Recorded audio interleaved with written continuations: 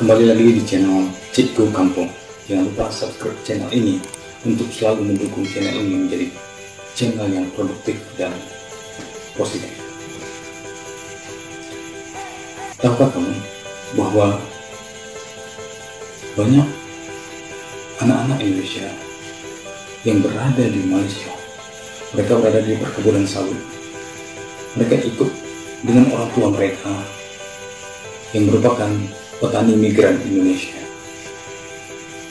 Mereka kesulitan untuk mendapatkan pendidikan karena mereka mengikuti orang tuanya. Oleh karena itu, Kementerian Pendidikan dan Kebudayaan membuat sekolah Indonesia di luar negeri, yaitu di Malaysia.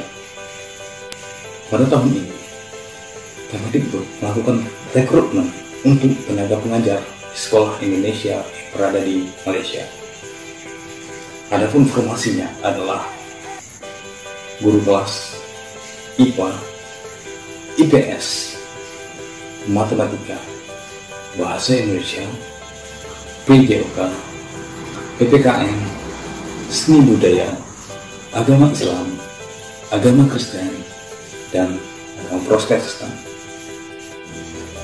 Persyaratan umum untuk mengikuti rekrutmen ini yang pertama adalah warga negara Indonesia. Yang kedua, bukan aparatur sipil negara.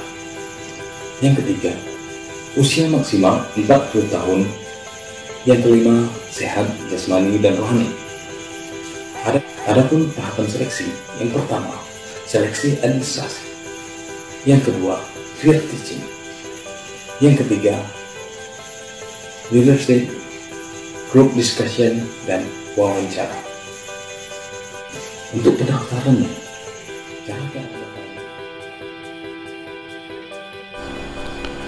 Yang pertama Bapak dan Ibu lakukan adalah mengunjungi laman resmi Kemendikbud untuk pendaftaran CLC Angkatan 11 tahun 2020 atau Bapak dan Ibu bisa mengunjungi short link pada deskripsi video di bawah ini sudah ada short link pendaftaran tersebut Bapak dan Ibu bisa langsung pergi ke deskripsi video untuk mengklik pendaftaran Selanjutnya, setelah Bapak dan Ibu mengklik pendaftaran, maka akan muncul kolom pendaftaran. Pada kolom pendaftaran, Bapak dan Ibu isi nama depan, nama belakang, alamat email, password, dan ulangi password. Setelah itu, klik lanjut mendaftar. Selanjutnya, setelah Bapak Ibu klik lanjut mendaftar, Bapak dan Ibu wajib mengisi info pribadi berisi dengan gelar, tempat tanggal lahir, dan NIK. Kemudian Bapak dan Ibu konfirmasi selesai pendaftaran.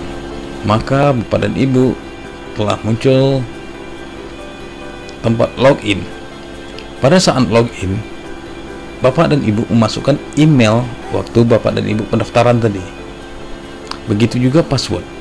Password yang digunakan adalah password ketika Bapak dan Ibu melakukan pendaftaran.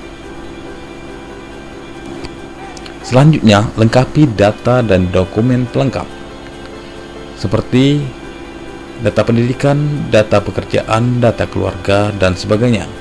Kelengkapan dokumen seperti dokumen kependudukan, dokumen pendidikan, dan dokumen lain-lainnya. Ya. Bapak dan Ibu melakukan validasi data dan dokumen. Setelah Bapak klik lanjutkan validasi, maka tahap selanjutnya adalah pengunggahan dokumen. Setelah Bapak dan Ibu melakukan pengunggahan dokumen dan telah validasi, maka proses pendaftaran telah selesai. Silakan tunggu hasil seleksi administrasi diumumkan pada halaman ini. Jangan lupa subscribe pada channel ini untuk mendukung channel ini memberi informasi yang up to date